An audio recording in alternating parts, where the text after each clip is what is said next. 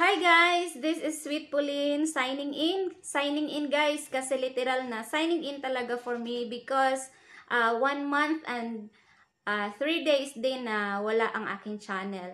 So, sa video na ito guys, is-share ko sa inyo kung bakit nawala, uh, dinilit yung aking channel sa YouTube at kung paano ko ito nakuhang muli or paano na ibalik sa akin yung aking channel na Sweet Pauline.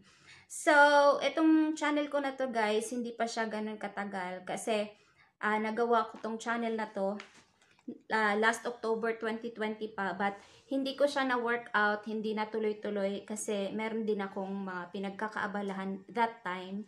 Tapos nawala na yun. So by April 3, 2021, itong taon lang na to, uh, na pagdesisyonan ko na ipagpatuloy ko itong Sweet Pauline. Then, uh, July, July uh, 2021, na-monetize tong Sweet Pulin ko. Kaya, ayun. So, from July, April to July, yung aking ina-upload. Then, hanggang uh, April to July, ina-upload ko nun yung mga videos na cooking videos ko. Uh, hindi naman siya professional na mga, ano, uh, videos din. Basta kung pag may magluluto lang ako, yun binivideo ko. So, own videos ko yung inaano ko, ina-upload ko that time. So, recipes, mga ride outs namin ng asawa ko, mga appointments sa embassy, mga ganyan. So, ilang videos lang yun. So, yun na nga, by July na monetize yung aking channel. Then, uh, alam naman natin, no, small YouTubers, ang hirap po ng buhay small YouTuber, no? Mahirap po makakuha ng views, yung ating mga videos. So, September, mm, nakita ko kasi sa YouTube, maraming nag-upload ng tungkol sa mga artista, ganyan. So, naisipan ko rin, na-influence din ako sa isa kong uh, friend, si Ma'am Elise, na nagana siya, nag-upload ng artista din. So, yung unang in-upload ko ay mga uh, videos ng, ano, ni Bea Alonzo at uh, Dominic Roque. Kasi, ano din sila, ba sikat din sila. Sa, uh, marami silang ma- mga fans na umaador sa kanilang ano relasyon. so, yun, by September, yun ang upload ko tungkol kay Bea. Then, pagdating ng October, PBB, sa start ng PBB, nakita ko rin sa YouTube na maraming nag-upload about PBB. So, yun, parang nainganyo rin akong mag-try. So, trinay ko din na mag-PBB at first. Um, konti pa lang yung views. But, ilang days, yan, marami na ang views at sa, na ano, napaka-happy ko that time kasi ang daming views at ang laki na revenue guys. At dun ko na-realize na sarap pala pag nagtitrend yung videos mo kasi malaki talaga yung revenue na papasok everyday. As in everyday kasi hindi natin naranasan yun eh na maka 2 1 dollar lang a day. Ang saya na natin, ba? So, yun, ang happy ko noon. Parang, ano pa nga ako eh, sinishare ko pa nga yung, ano ko, experiences ko sa iba. So, yun, uh, pa, na ano ako, happiness. Yung happiness na yun ay pansamantala lang, hindi naman din forever. So, yun nga, walang forever. So, yun, pagdating ng November 19, guys, nakatanggap ako ng email from YouTube na my channel is no longer eligible for monetization. In short, guys, nawala yung ano ko ng nawala yung ads ko November 19 November 19 yun. So ayun uh, guys guys malungkot kasi 'di ba nawala yung ano mo hindi ka na monetize but happy na rin at least nakalagay naman doon na you can apply after 30 days. So yun na lang yung pinanghahawakan ko na by December 19 pwede akong mag-reapply. At hindi naman mahirap kasi uh, buo pa naman yung ano mo sub count at yung WH mo. So, okay lang yun. Then, by that time, medyo naglaylaw ako. Mga isang video a day. Nagpo-post pa rin ako ng PBB. So, ang ano pala, nun, reason pala nun, bakit na demonetize yun, nawala yung ads ko. Kasi ano, dahil sa reused content. So, actually, pwede lang naman mag-reuse. Mag pwede ka naman mag-reuse. Basta, ano ka, maglagay, mag ano ka, mag-edit, i-edit mo siya. Dapat may significant modification dun sa video na ano, kinopya mo. Pero, yung sa akin kasi, yun, diretsong upload yun. At uh, yun ang kadalasang ginagawa ng karamihan sa YouTube. So, yun na nga, na-demonetize. So, sa akin, okay lang. Parang okay na lang tinanggap ko. Wala naman tayong magagawa. Nandun na yun, ba? So, yun, ako, kasi ako ulit, thinking kasi na okay lang kasi na, hindi naman na ako monetize that time. Nag-upload pa rin ako at least one video a day. Is- Iniisip ko nun for ano na lang para sa subs count ko. Pero sobrang nadagdagan, nag-level up yung akong, aking lungkot guys kasi nung November 26, 3 p.m. nakatanggap na naman ako ng another email, email na naman from YouTube saying na ano, talang, sahin ko na lang guys sa inyo ha. Yan, December, oh, November 26 pala, uh, email, ito yung email sa akin. Sweet Pauline, Hi, Sweet Pauline. We have reviewed your content and found severe or repeated violations of our community guidelines. Because of this, we have removed your channel from YouTube. So, yun na nga ang pinakamalungkot sa lahat. Na-remove yung aking channel sa YouTube, guys. Hindi ko na ma-search, as in, wala na akong access. Hindi na, wala na talaga. Kahit sa YouTube Studio, wala, wala na talaga. Mm. Sobrang lungkot na parang yung demonetization, okay lang yan kasi makapag-reapply. Pero yung as in, walang parang bula yung channel mo. As in, sobrang lungkot talaga guys na hindi ko ma-explain na. Parang ang sarap umiyak, sarap sumigaw, ganun. Pero wala na, eh, eh, parang hindi ako makatulog. Hindi ako nakatulog that time.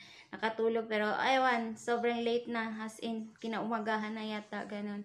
Tapos sinabi pa, how this affect your channel? We have permanently removed your channel from YouTube. So yun guys, no, permanently removed your channel from YouTube. Going forward, you won't be able to access, possess, or create any other YouTube channels. Oh, so ano, ano talaga, sinabi na ako ng asawa ko na pwede ka naman gumawa ng ibang ano, pero, nako, as in, na-stress talaga ako that time. Tapos sabi pa, sabi pa, what you can do next, kailangan mo na mag-review yung community guidelines. Pero kahit anong basa ko dun sa community guidelines, wala naman yung akin, ano dun, parang wala naman. Reused lang naman talaga yung problema ko dun. Wala naman ako nilabag na ibang ano, like spam, ganyan, spamming at kung ano-ano pa scam, mga malicious ano words, wala naman speech, malicious speech or iba wala wala namang nakahubad dun sa mga videos ko.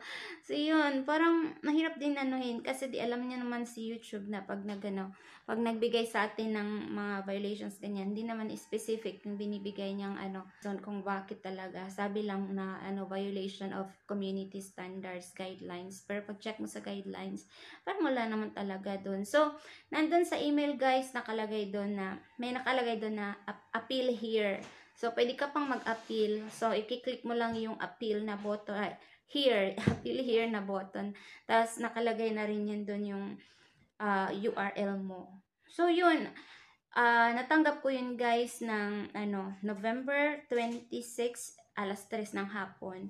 So, pagdating ng ano, ng November 26, alas 3 ng hapon, pagka 5.29 ng hapon din, after ko na magmuni-muni, yun, parang naano yung ano ko, loob ko na, ah, mag-send ako ng appeal. So, nag-send din ako ng appeal after almost 3 hours from the time na na-receive ko yung email na, yun na, term- terminated permanently yung aking YouTube channel.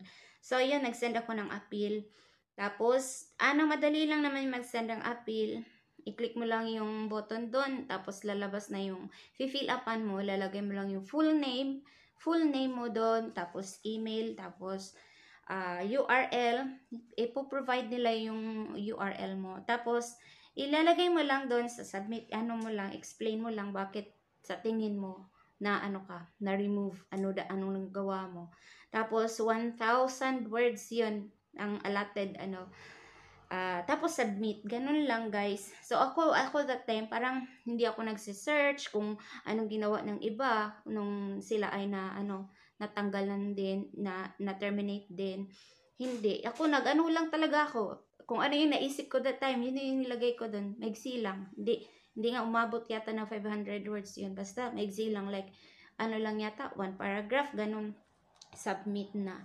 Tapos yun, pagka-submit ko nun, mag, uh, ano yan sila sa'yo, magre-reply yun, ano yan, machine generated yung reply nila, na sabi, thank you for your, uh, your, thank you for your account suspicion appeal. We have decided to keep Ah, ano pa pala guys, once na nag-submit ka ng ano ng appeal, 'yon ang ma-receive mong email sabihin ah, agad-agad yan sila magre-reply kasi machine generated nga lang yan. So, ang sabi sa iyo niyan, sabi nila sa iyo, "Hello, we have received your account appeal and we and we'll get back to you soon as possible." Ah, and we'll get back to you as soon as possible. Yun yung sabi nila. Then, so naghintay ako kasi may sabi pa yan sila eh na ano daw, review, they will review your account kung nag-ano ka nga ba, nag, may na-violate ka nga ba.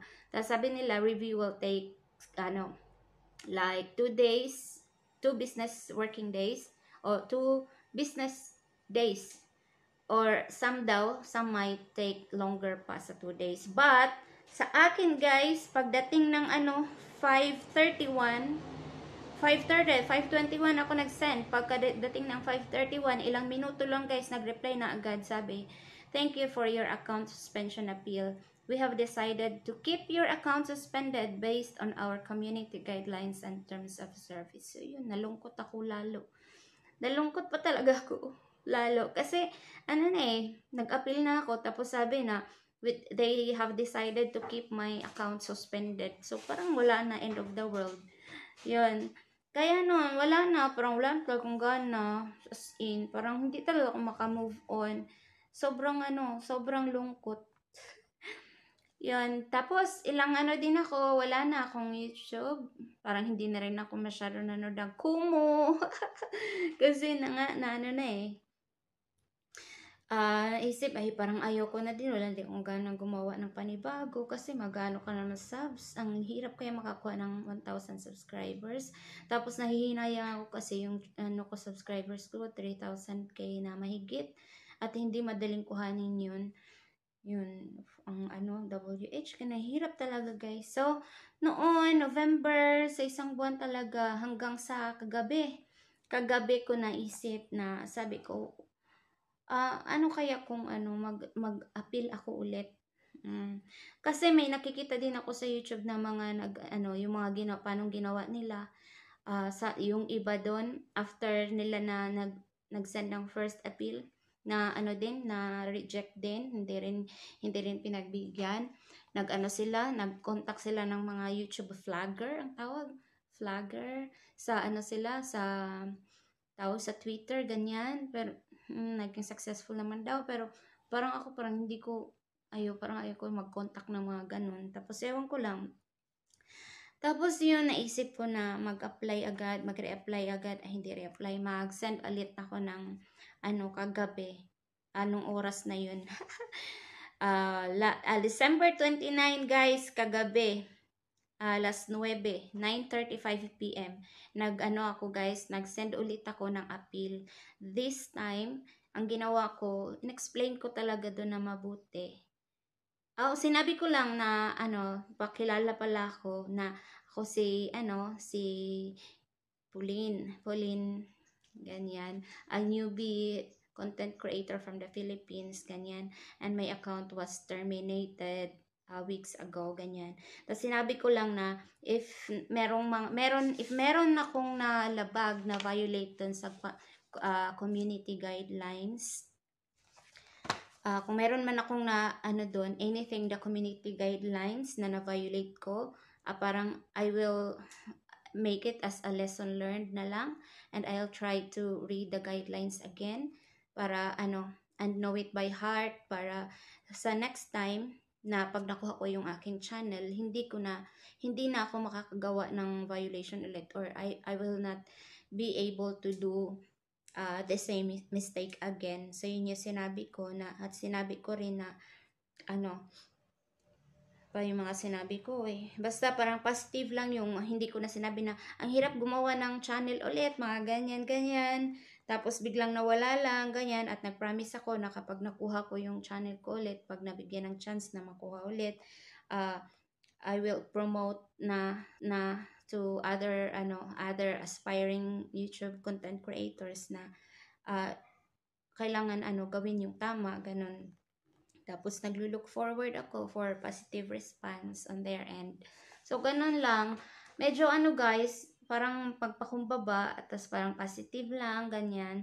Mag-promise ka kung anong gagawin mo na next time pag nag, nabigyan ka ng chance, i-promise na gawin mo na yung tama at maging ano ka, maging magandang halimga, halimbawa ka sa mga aspiring ano, aspiring content creators ng YouTube, ganun. Tapos na ano ko talaga guys, kinonsume ko talaga yung 1,000 allotted ano 1,000 words na dun sa appeal mo. Yun, sinubmit ko. Tapos yun, grabe, sobrang ano ako. Tingin ako, nagtingin ulit-ulit. Parang binabantayan ko lang yung email ko. Na ano, parang, ano din ba, kinakabahan. As in, sobrang kaba. Kasi parang kong makita na, ayan na, may nag-pop up na na message. Tapos, ang sabihin na, we decided to, ano na naman, to keep your channel suspended. So, yun, nung pagka-ano ko, pagka, pagka-send ko nun, yan, hinayaan ko lang muna. Tapos, after 5 minutes, titingnan ko na naman. Tapos, wala pa. So, parang naano na ako kasi nung nakaraan, di ba, nung unang send ko, uh, ano lang, 3 minutes ganyan, mag-reply na kaagad. So, yun, tapos inisip ko na lang na sabi naman nila na after ano pa daw 2 days pa daw yung review. So, yun, nanood-nood muna ako ng mga video sa YouTube. Tapos, after, ano, 30 minutes, ganyan, or almost 1 hour yan, tiningnan ko na ulit. At tuwang-tuwa ako, guys, kasi may, may unang nakita ko talaga sa email ko. Yung, ano, yung email na your video has ano, copyright has copyright claim ganon tapos yun dalawa pa talaga tapos nakita ko sa baba yung reply nila at ito yung sabi sa akin at Sobrang tawa ko talaga. Sobrang tawa ko talaga, guys. So, December 29, 10.20 p.m. guys. At almost 1 hour na mula nung nag-send ako ng appeal. At ito yung sabi nila sa akin. Hello, we have re-reviewed your account and have concluded that it is not in violation of our terms of service. Therefore, we have unsuspended your account. This means your account is once again active and operational and in good standing eh, if you have forgotten your password, mm, mga ganyan. Tapos sabi pa nila na, ano daw, we're very sorry for the inconvenience we brought to you, like that. So yun, as in, sobrang saya ko talaga. Parang ano eh, parang daig pa yung feeling ng happiness na binigyan ka ng pamasko. na natanggap mo yung bonus mo. As in, sobrang saya ko talaga that time. Ay, kagabi pala, uh, pinalo-palo ko yung asawa ko, char. Sobrang saya, as in. Tapos yun, tiningnan ko na yung ano ko, yung yeah, sa studio ko, yung sa monetization nakalagay doon. Um, yun pa rin, yung dati na natanggap ko na, uh, natanggap ko na hindi na ako eligible for monetization, nandoon nakalagay. Yun, yun pa rin ang nakalagay, kaso lang, wala nang ano doon guys, may, may re-apply doon. Kaso lang, may reapply pa rin, pero yung WH ko, zero. Ewan ko lang kung bakit ganun, or baka ganun ba talaga siya, hindi ko lang din alam. So, malalaman ko, oh, so, kailangan ko pa ulit ng maka, 1, maka 4,000 na ano, public WH. Pero at least, guys, masaya pa rin kasi naibalik yung aking channel.